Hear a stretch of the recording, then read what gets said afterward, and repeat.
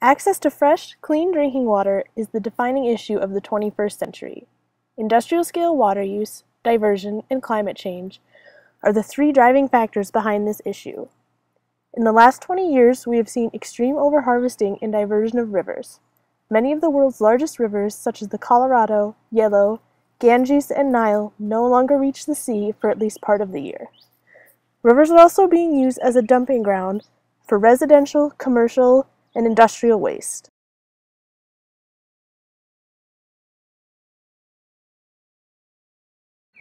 Another water issue facing the world today is the depletion of underground aquifers. Aquifers are essentially large, naturally occurring water storage systems underground. They fill by absorbing water traveling through permeable rock. Recently, pumping from aquifers has been increasing and the world is beginning to see water scarcity due to taking water from aquifers faster than it can be replaced.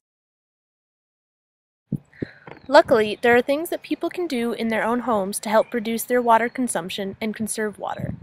One thing you can do is to fill a plastic bottle with sand and water and place it in your toilet tank. This reduces the amount of water used per flush and can save your household both water and money. There are even products available for this exact use. Another simple way to conserve water in your home is to fill a pan with water and wash your fruits and vegetables in the pan instead of washing them under a running faucet, which can waste, which can waste a lot of water.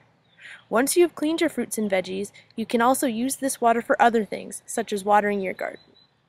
A final way you can reduce water consumption in your home is by turning off the faucet while you are scrubbing your dirty dishes. All three of these things are simple, effective ways of reducing the water footprint of your home and the size of your water bill. Water distribution in Costa Rica is handled locally by each individual municipality. The organization in Monteverde is called Acueducto Santa Elena. They monitor and distribute water to the entire Monteverde area. Their data tells us that the sector responsible for the largest consumption of water is domestic use. Water use in homes is consistently higher than that in all other sectors, including commercial, governmental, and industrial.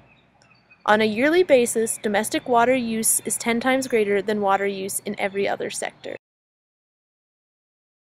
Our rainwater system is located at Bajo del Tigre in Monteverde, Costa Rica.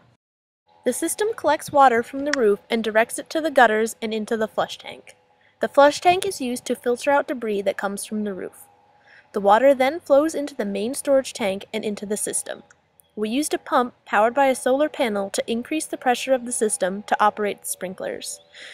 We needed a charge controller to control the flow of energy from the solar panel to the battery so that the battery does not become overloaded. The major maintenance problem presented by every rainwater system is trying to figure out how to keep leaves and other debris out of the system. There are a couple of options you have when trying to keep leaves out of your system, depending on the level of maintenance you can supply. The simplest solution, and the one that we decided to go with, was putting a wire mesh over the gutters to keep large debris, such as leaves and twigs, out of the system. To make sure that the wire mesh does not become clogged, someone will have to clear away the leaves about twice a year. Another option is to put a piece of wire mesh over the end of the gutter where the downspout into the flush tank meets the gutter. This will prevent leaves from getting into the system as well, but it will require cleaning slightly more often than the other wire mesh system. A final gutter maintenance system that we considered was installing a gutter cleaner into the gutters and cleaning the leaves out of the gutters at least once a month manually. However, this option required more manual labor than we were able to provide. Shutoff valves are another important aspect of maintenance for rainwater systems. You must have ways to stop the flow of water to all or part of your system if you ever need to make an alteration or update the system. They are also important if your system becomes full and you need to release water. Another important feature of rainwater systems necessary for maintenance is the flush tank. This is the part of the system that collects the debris coming from the roof and prevents it from getting into the rest of the system. The flush tank is important for keeping leaves from clogging up the system, but three or four times a year the flush tank must be cleaned out. This is done by opening up the shutoff valve located at the bottom of the tank and releasing the water and collected debris into the outflow pipe, which is a pipe on the ground that takes the water away from the site and into a proper disposal location. Rainwater systems are an excellent way to use local water resources and conserve water, and with proper maintenance, they can remain operational for decades.